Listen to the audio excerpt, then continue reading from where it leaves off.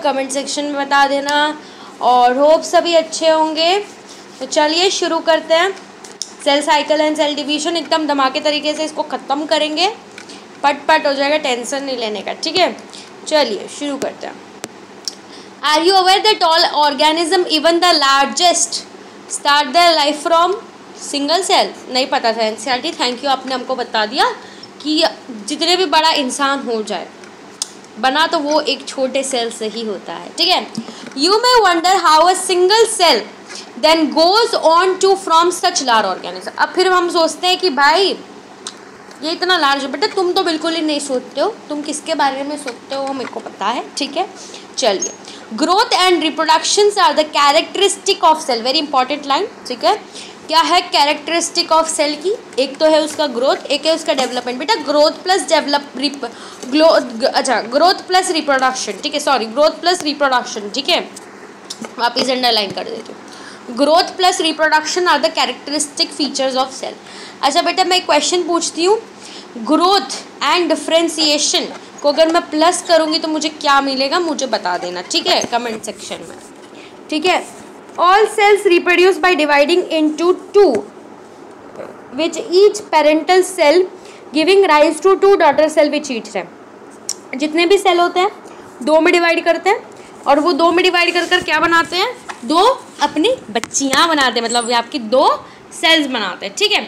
This newly found cells can themselves grow and divide giving rise to a new cell population that is form by the growth and division of single parental and its progeny तो अब ये new daughter cell क्या करेगी? अलग जन्म देगी, अलग cell की पॉपुलेशन बनाएगी, ठीक है?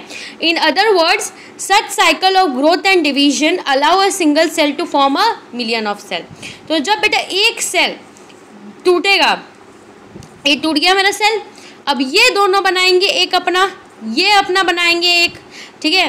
फिर ये ये ये अपना अलग दो बनाएगा फिर ये अपना दो बनाएँगे तो ऐसे करते करते एक लार्ज ऑर्गेनिज्म हमारे सामने टपक पड़े हैं, जिसको अगर आपको देखना हो लार्ज ऑर्गेनिज्म कौन है? अपने आप को जाकर मिरर में देख लें, आपको वो दिख जाएगा कि वो ऑर्गेनिज्म कैसे कैसे मल्टी सेल्यूलर और एकदम भाकड़ जैसा बन चुका है। ठीक है? Cell division is very important process in all living organism very important line ठीक है? एनसीईआरटी ने बोली है कि सेल डिवीज़न बहुत ज़्यादा इंपॉर्टेंट प्रोसेस है, ठीक है? क्यों? अगर सेल डिवीज़न नहीं होगा तो आप बढ़ोगे कैसे? ठीक है? During the division of a cell D DNA replication and cell growth also takes place ठीक है? अब यहाँ पर एनसीईआरटी क्या बोल रही है? कि अगर डिवीज़न ऑफ़ सेल हो रहा है तो वहाँ पर कहीं ना कहीं डीएनए भी रेप्लीकेट कर रहा होगा राइट तभी तो इक्वल नंबर पे हमारे दोनों सेल्स के पास डीएनए जाएँगे, ठीक है? All these process cell division a replication and cell growth hand to takes place in a coordinate manner to ensure correct division and formation of progeny containing intact genomes तो बहुत precisely बहुत coordinated वे में हमें हर चीज़ देखनी पड़ेगी कि हाँ ये सेल ढंग से डिवाइड कर रहा है, ठीक है? The sequence of event by which a cell duplicate genome synthesize the other constitute of the cell and eventually divides into daughter cell is called as cell division क्या बोली एनसीईआरटी ने? भरपूर इंग्लिश छोड़ दी एनसीईआरटी ने और ये सीधा bouncer गई होगी आपकी। कोई बात नहीं, हम सिंप्लीफाई कर देते हैं। क्या बेटा? The sequence of event by which a cell duplication zero मतलब आपका जो सेल है, उसमें क्या हो रहा है बेटा? जीनोम जीनोम मतलब आपके जो जीन्स हैं वो रेप्लिकेट कर रहे हैं डुप्लीकेट कर रहे हैं, ज़्यादा नंबर में बन रहे हैं, ठीक है? Synthesize the other constituent of the cell and eventually divide into two cells ठीक है? सबसे पहले बेटा देखो, यहाँ मैं समझाती हूँ आपको, ये अलग लाइन तो मेरे हमेशा मेरे आपने देखी होगी, ऐसे खींची, खींचती रहती है, कोई बड़ी बात नहीं है इसमें, कोई नया आया हो तो देख लेना, ऐसा ही होता है हमारे में, ठीक है? ठीक है, देखो, आपका ये सेल है बराबर सेल है, एकदम क्यूट सेल है, यहाँ पे एक उसका न्यूक्लियस बनाना बहुत ज़रूरी है। ठीक है, यहाँ पर बेटा ये डीएनए मॉलिक्यूल है। ठीक है डीएनए को मैं रेड कलर से बना देती हूँ, ताकि थोड़ा सा आपको क्लियर लगे। ठीक है ना? चलो रेड कलर ये डीएनए है मेरा। ठीक है, अब एक डीएनए अब इसको हुई उत्तेजना। इसने बोला, अब मेरे को करने हैं बच्चे। बेटा, इस पर कोई आएगा नहीं मेल या कोई फीमेल नहीं आएगी इसके पास। इसको खुद को तोड़ना पड़ेगा। ठीक है बेटा? ये टूटा क्या क्या बेटा? टूटा। टूटने से पहले इसने क्या किया मेरे बच्चों? इसने पहले किया रेप्लिकेशन क्या रेप्लिकेशन किया बेटा? रेप्लिकेशन एक डीएनए दो डीएनए पर दो डीएनए बना लिया डुप्लीकेट कर दिया डीएनए को। जब डीएनए डुप्लीकेट हो गया मेरे बच्चों तो जाके ये बना, फिर ये दो में डिवाइड हुआ और एक जो आपका डीएनए था इनके पास गया, एक डीएनए इनके पास गया। न्यूक्लियस बनाना बहुत इंपॉर्टेंट है तो ये मैंने न्यूक्लियस बना लिया। तो यही क्या होता है बेटा? यही चीज़ को हम क्या बोलते हैं? इसी चीज़ को मैं क्या बोलती हूँ? Cell cycle. क्या बोलती हूँ बेटा? सेल की साइकिल चल रही है। ठीक है? चलिए। Although cell growth in terms of cytoplasmic increase is a continuous process ठीक है? सेल ग्रोथ क्या है बेटा? एक कंटिन्यूस प्रोसेस है।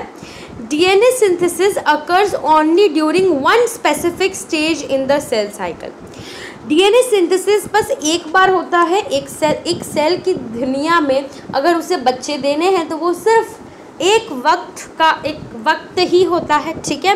The replicated chromosome DNA are then distributed to daughter nuclei फिर उसके बाद हम क्या करेंगे बच्चों? वो डीएनए को हम बांट देंगे, हमारी प्रॉपर्टी को हम बांट देंगे हमारे डॉटर सेल्स में, ठीक है?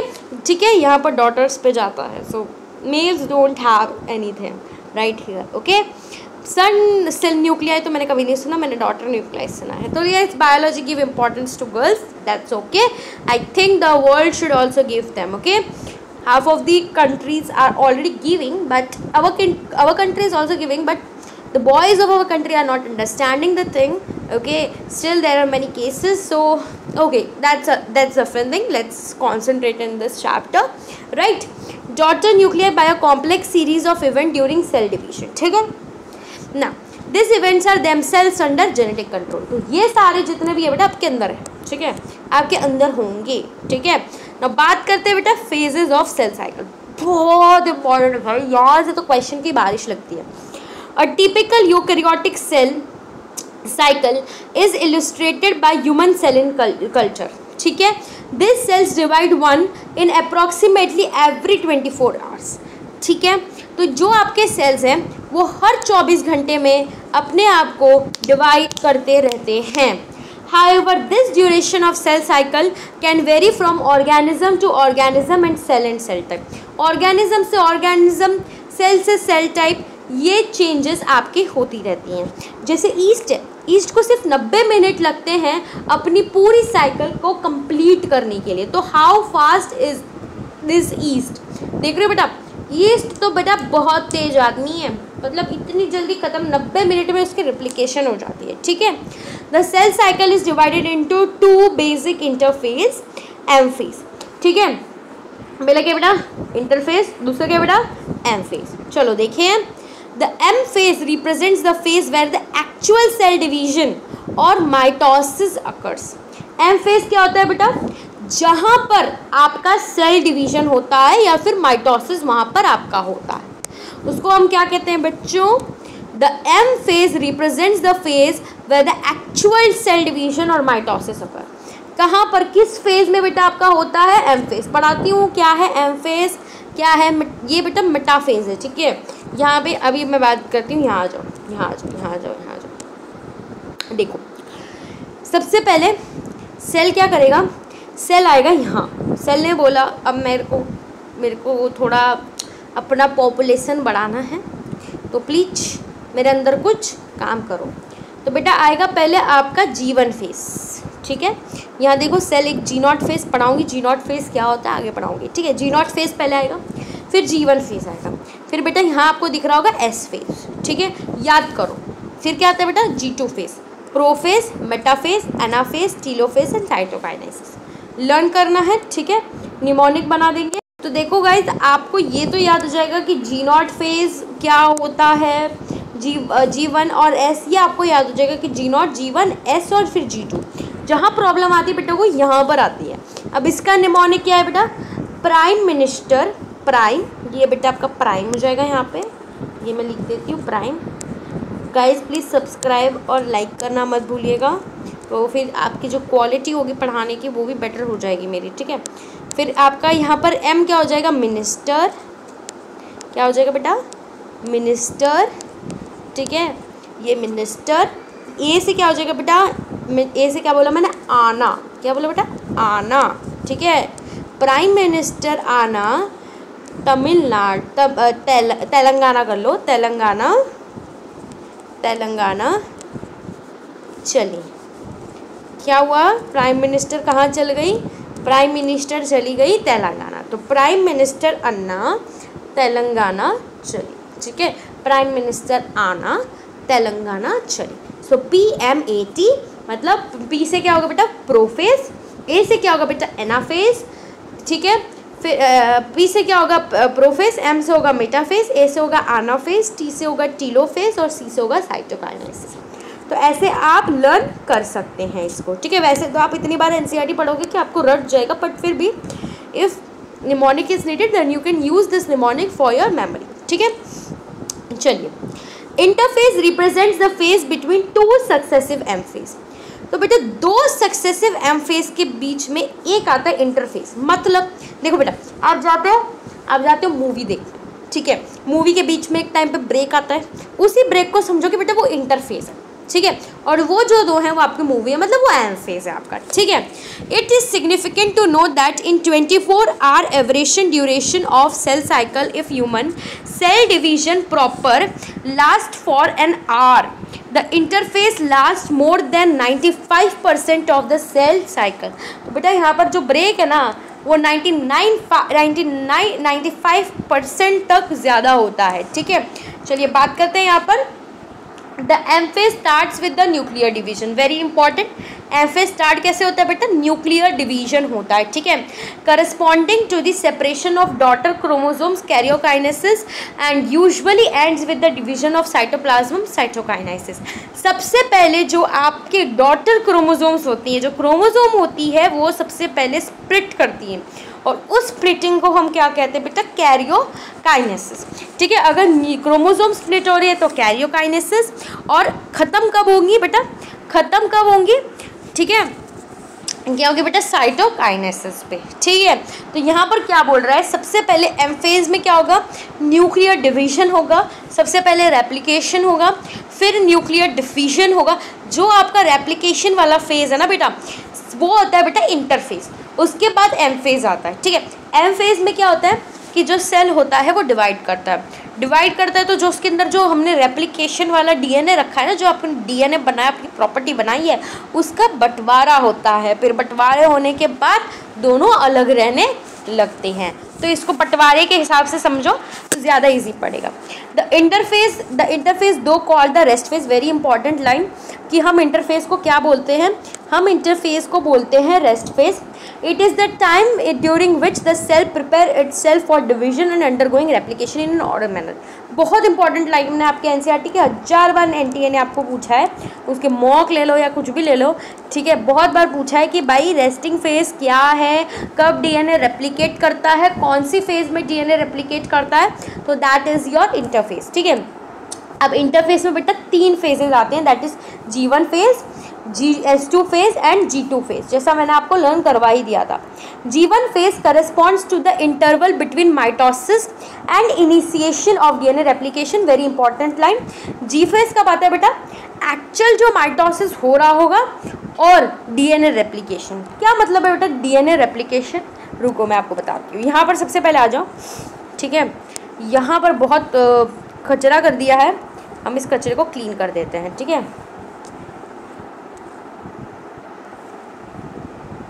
ये सिलेक्ट हो गया है और ये गया। गया नहीं। देखिए यहाँ पर बच्चों, आप लोग यहाँ पर देख सकते हो हम कहाँ पर जीवन फ़ेज़ की बात कर रहे हैं, ठीक है? ये जो एस फ़ेज़ होता है, यहाँ पर आपका सेल डिवीज़न होता है। सेल डिवीज़न होता है? नहीं नहीं बेटा। सेल डिवीज़न नहीं होता। यहाँ पर मैंने गलत बता दिया मिस्टंग हो गया। यहाँ पर बेटा आपका डीएनए का रेप्लिकेशन होता है। क्या होता है बेटा? डीएनए का रेप्लीकेशन होता तो यहाँ पर बेटा, यहाँ पर होता है आपका डीएनए रेप्लिकेशन रेप्लिका मैं यहाँ पर आपको रेप्लिका लिख कर दे देती हूँ, ठीक है? सो बेसिकली यहाँ पर जीवन फ़ेज़ जो आता है वो आपके माइटोसिस मतलब आपके एम फ़ेज़ और आपके एस फ़ेज़ के बीच में आता है, यही एन e आपको कहने की कोशिश यहाँ कर रही है, ठीक है? During G one phase the cell is metabolically active and continuous grow but does not replicate बेटा देखो एक्टिव है जीवन फ़ेज़ में एक्टिव है और ये अगेन इंपॉर्टेंट लाइन है। जीवन फ़ेज़ में वो एक्टिव बैठा है, ठीक है? बट कोई रेप्लिकेशन नहीं होता डीएनए और कोई synthesis S or synthesis phase marks the point during which very important line बेटा एस फ़ेज़ में क्या होता है बेटा आपका डीएनए हमेशा याद रखो एस फ़ेज़ मतलब डीएनए रेप्लिकेशन आपकी जहन में ये लाइन ट्वेल्थ तक आनी चाहिए। अगर आप ट्वेल्थ में तो आपकी नीट तक रहनी चाहिए, ठीक है? ठीक है? चलिए, बात करते हैं नेक्स्ट ओके अब during the time the amount of DNA per cell double तो डीएनए क्या होगा बेटा? डबल हो जाएगा। If the initial amount is two C then it will be four C पर यहाँ पर क्रोमोजोम में कोई भी बदलाव नहीं आएगा। क्रोमोजोम डबल नहीं करेगा। आपका डीएनए यहाँ पर डबल करेगा। Even after S phase the number of chromosome remain same that is the two N तो आपका जो नंबर ऑफ़ क्रोमोजोम रहेगा, वो टू एन ही रहेगा। लेकिन अगर आपका डीएनए कंटेंट टू सी है तो वो डबल होकर फोर सी हो जाएगा। कमेंट में बताना, अगर फोर है नंबर ऑफ़ डीएनए तो एस फ़ेज़ के बाद ये कितना हो जाएगा? ठीक है? चलिए। In animal cell during the S phase ठीक है? एनिमल सेल में ड्यूरिंग द एस फेस कब की बात हो रही है बेटा? एनिमल सेल के अंदर, जब एस फेस चल रहा था DNA replication begin in the nucleus बेटा very important very important line इतनी छुटकी लाइन ऐसे नीचे लिखी हुई है, लेकिन हमारा काम है एनसीईआरटी को पकड़ के रखना, ठीक है? तो यहाँ पर क्या लिख रहे हैं एनसीईआरटी कि DNA replication begins in the nucleus very important line DNA replication कहाँ पर होता है? न्यूक्लियस में होता है. And centriole duplicates into cytoplasm again nice question ये हो जाता है. ठीक है? यहाँ लिख के बता देती हूँ. ध्यान में रखनी अपनी बातें. डीएनए रेप्लिकेशन कहाँ होता है बेटा? न्यूक्लियस में होता है. और आपका सेंट्रियोल यहाँ पर कहाँ पर डिवाइड करता है? वो डिवाइड करता है बेटा आपका साइटोप्लाज्म ठीक है? कहाँ डिवाइड करता है यहाँ पर? साइटोप्लाज्म में, ठीक है? समझ आया आपको? वेरी गुड चलिए, ठीक है। नेक्स्ट काम करते हैं। During the G two phase अब जी टू फेस में क्या होता है बच्चों मेरे? Proteins are synthesize in the preparation for mitosis very important line भाई साहब। इतनी इंपॉर्टेंट लाइन है बेटा जी टू फ़ेज़ में क्या होता है? जी टू फ़ेज़ में आपका जो प्रोटीन होता है, उसको हम सिंथेसाइज करते हैं ताकि वो हेल्प कर सके आपकी सेल ग्रोथ में। तो हमने क्या क्या पढ़ लिया? एक बार आओ साइड में एनसीईआरटी साइड लेके आती है हमको, बोलती है, चुपचाप यहाँ पर डिवाइस करो कि क्या पढ़ा तुमने? सबसे पहले बेटा आता है इंटरफेस ठीक है? और इंटरफेस जो होता है आपका, ठीक है? इंटरफेस जो होता है वो आपका, वो होता है नाइन्टी फाइव परसेंट जो टाइम लेता है, वो यही इंटरफेज लेता है। ठीक है? उसके बाद होता है बेटा आपका जी वन फ़ेज़ जो आपका जी वन फ़ेज़ होता है, उसमें सेल मेटाबॉलिकली एक्टिव है। लेकिन बेटा ये क्या है? थोड़ा सा वीक है। थोड़ा बेटा कोई भी सेल का रेप्लिकेशन यहाँ पर डीएनए का रेप्लिकेशन नहीं होता। पर फिर आता है आपका एस फ़ेज़ एस फ़ेज़ में क्या होता है बच्चों मेरे? एस फ़ेज़ में यहाँ पर आपका डीएनए क्या करता है बेटा? रेप्लिका करता है। क्या करता है? रेप्लिका करता है। वेरी गुड और आपका जी टू फ़ेज़ यहाँ क्या कर लेता है मेरे बच्चों? जी टू फ़ेज़ यहाँ पर प्रोटीन का सिंथेसाइज करता है ताकि जो प्रोटीन्स हो, वो आपकी हेल्प कर सके सिंथेसाइज में। तो आई होप आपको ये बात बहुत ही अच्छे से क्लियर होगी। चलिए आगे बढ़े। ओके चलिए। आगे आते हैं। क्या लिखा है यहाँ एन ने आपको? चलिए। Some cells in the adult animals do not appear to exhibit division very important line कुछ सेल्स हैं जो डिवाइड ही नहीं करते है। जो आपका दिल है। बेटा, वो रेप्लिकेट नहीं करता। उसके जो सेल्स होते हैं, वो रेप्लिकेट नहीं करते हैं। And many other cells divide only occasionally मन किया करेंगे, नहीं किया नहीं करेंगे। अगर उनके बॉडी में कुछ इंजरी या फिर कुछ सेल डेड हो जाता है तो वो रिप्लेस करते हैं। ठीक है? This cells do not divide further exit G one phase to enter inactive phase called G two phase G naught phase अब बेटा, ये जी नॉट फ़ेज़ क्या होता है? ठीक है? ये क्या करते हैं? ये जीवन फेस में उतर आते हैं, ठीक है? पर फिर बोलते हैं, मेरे को आगे नहीं बढ़ना, मेरे को नहीं देना, मेरे को नहीं करना, मेरे को नहीं करना, मेरे को नहीं करना। तो फिर ये क्या चले जाएँगे? बेटा जी नॉट फेस में। पहले जीवन फेस में फिर बोलते हैं नहीं करना। जी नॉट फेस में चले गए, ठीक है? Cells in the stage remain metabolically active metabolically मैं एक्टिव हूँ, लेकिन मैं कभी भी कोई भी सेल को प्रोलिफरेट नहीं कर पाऊँगा। अगर करना भी है तो ये ऑर्गेनिज्म के रिक्वायरमेंट पर डिपेंड करेगी ठीक है? समझ आई आपको ये एन e की? बहुत इंपॉर्टेंट लाइन है। ठीक है? यहाँ पर ये जो हार्ट सेल्स वाला है, ये पूछा गया आपके एन e ने। आपके नीट ने एन टी ए ने। ठीक है? ओके नीट मतलब national entrance exam cum entrance कुछ ऐसा ही है, नाम याद नहीं है मुझे, लेकिन ठीक है। Some cells in the adult animals do not appear to exhibit division like heart cells ठीक है? तो हार्ट सेल्स बिल्कुल भी आपके डिवाइड नहीं करते हैं। ये इंपॉर्टेंट लाइन थी यहाँ पे, ठीक है? In animals mitotic cell division is only seen in diploid somatic cells animals में जो आपके माइटोटिक सेल डिवीज़न कहाँ पर होते हैं बेटा? जहाँ पर सोमैटिक सेल्स होते हैं। सोमैटिक सेल्स क्या होते हैं? जर्म सेल्स क्या होते हैं? आ जाओ एन की साइड में, समझा देती हूँ। आपकी बॉडी में ट्वेंटी थ्री क्रोमोजोम्स है very good highlighter is always giving me a shock ठीक है? आपकी बॉडी में ट्वेंटी थ्री क्रोमोजोम्स हैं। अगर आप इंसान हैं तो आपकी बॉडी में ट्वेंटी थ्री क्रोमोजोम्स होंगे अनलेस एंड अनटिल आपको कोई डिसऑर्डर ना हो जेनेटिक मैं सबको न्यूट्रल मान के चल रही हूँ तो ट्वेंटी थ्री ठीक है? एक बच्चा है आपका ही बच्चा है, ठीक है? उसको ट्वेंटी थ्री क्रोमोजोम्स है, ठीक है? अब बच्चे से आपको बहुत अच्छे से समझ आएगा, ठीक है? आपका बच्चा है ट्वेंटी थ्री क्रोमोजोम्स है, ठीक है? अब ट्वेंटी थ्री क्रोमोजोम्स में से बेटा ट्वेंटी टू क्रोमोजोम्स आपके ऑटोजोम्स है। क्या है बेटा? ऑटोजोम्स क्या है बेटा? ऑटोजोम्स ठीक है? ऑटोजोम्स है। और जो आपके एक सिंगल एक क्रोमोजोम वो आपका जर्म सेल है। क्या है बेटा? जर्म सेल है। ठीक है? अब बेटा, ये जो ऑटोजोम होता है, इसको हम सोमैटिक दी कहती हैं। अब ये होता क्या है मैम ये होता क्या है? ये ऑटोजोम ये जर्म सेल ये होता क्या है?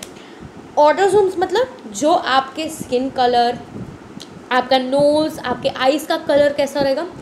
जितना भी आपकी हाइट कितनी है, आपके नेल्स किस साइड के होंगे, आपके नोज़ कैसे होंगे, आपका पिगमेंटेशन कैसा होगा, आपकी ब्यूटीफुल ब्यूटीफुल आँखें कैसे होंगे आपके बच्चे की तो वो इस ट्वेंटी टू ऑटोजोम्स पर डिपेंड करता है। जो बात ये जर्म सेल की आती है जर्म सेल का मतलब होता है बेटा इसका जेंडर बताने वाला, ठीक है? एक होता है जेंडर वाला तो ये आपका जेंडर वाले को हम जर्म सेल बोलते हैं, जो अंडरगो करता है बेटा आपका। जो अंडरगो क्या करता है मेरे बच्चों? जो अंडरगो करता है बेटा मियोसिस पढ़ेंगे मियोसिस बिल्कुल पढ़ेंगे। इसी चैप्टर में करेंगे मियोसिस और ये जो सेल है, वही कह रही है एनसीईआरटी की ये करता है माइटोटिक माइटोटिक मतलब यहाँ पर बच्चों, कि माइटोटिक का मतलब पहले रेप्लिकेट करेगा और फिर डिवाइड करके दो सेल्स बना देगा। सेम मतलब है, ठीक है? कोई चेंज नहीं है, ठीक है? My answer is same no difference चलिए। तो आपको आई होप आपको समझ आ गया होगा कि सोमैटिक सेल्स क्या होते हैं जर्म सेल्स क्या होते हैं, ठीक है? There are few exception to this where haploid cells divide by mitosis like male very important line आ गई बेटा यहाँ पर, ठीक है? यहाँ पर मेल ठीक है? यहाँ पर haploid cells divide by mitosis यहाँ पर तो बेटा हैप्लॉइड सेल से डिवाइड कर लेते हैं। मतलब जैसे ट्वेंटी थ्री एक हैप्लॉइड नंबर है राइट तो हैप्लॉइड नंबर अपने आप डिवाइड कर रहा है यहाँ पर हनी बी में ठीक है? Against this plant show mitotic division in both haploid and diploid cells very important line plants तो भाई चाहे कुछ भी हो डिवाइड तो करना ही है हैप्लॉइड और डाइप्लॉइड जैसी शक्ति हो बेटा पर पैसे खर्चे करने ही हैं। From your recollection of examples of alteration of generation in plants, identify plant species and stage at which mitosis is seen cells. तो आई होप आपको इतना समझ आया होगा। अगला पार्ट कल तक आ जाएगा। तो अगला पार्ट कल देखना मत भूलना। एम फ़ेज़ हम अगले पार्ट में करेंगे। तो hope you like the video don't forget to like share and subscribe my channel best of luck for your exam I know you will crack the NEET like anything okay